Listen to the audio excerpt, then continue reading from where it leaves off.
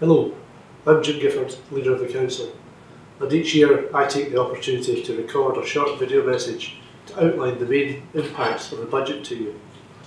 We have the responsibility for setting a budget of over £500 million to ensure that the people of Aberdeenshire receive important local services, but the public sector is receiving less and less money each year to deliver those services.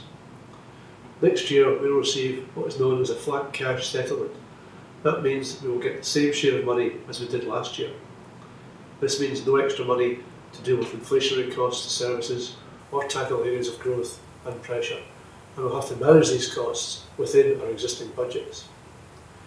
The Council's budget for 2014-15 will remain fairly static. We will maintain a freeze on council tax. We will maintain teacher numbers in line with pupil numbers, and we will secure places for all probationers who require one under the teacher induction scheme. Most staff won't see much difference in funding from the current year. We are very aware of the importance of setting a clear vision for the future, and in the year ahead, councillors will work alongside the management team to take a close look at what we're doing and what budgets are required to support that activity. We already know we'll have less money to deliver services between 2015 and 2019, around £49 million to be exact reshaping and refocusing our services for the future needs to be carefully planned, and every one of us has a part to play in considering how best to do this. Our vision is to be the best in Scotland, and our core outcomes are lifelong learning, strong and sustainable communities, caring for communities, and public sector excellence. We will use these outcomes to shape our financial plans for the future.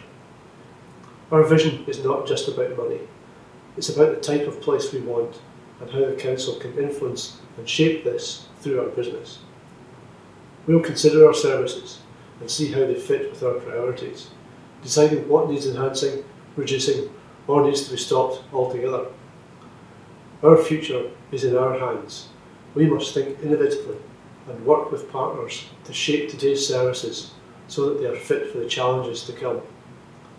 I would like to take this opportunity to thank each and every one of you for the work that you do. I know that the services you deliver can be challenging at times. You provide valuable services to the people of Aberdeenshire and focus on those who need help the most in our communities, and that is never taken for granted. So thank you for your continued commitment and hard work in delivering services on behalf of Aberdeenshire Council, and thank you for listening.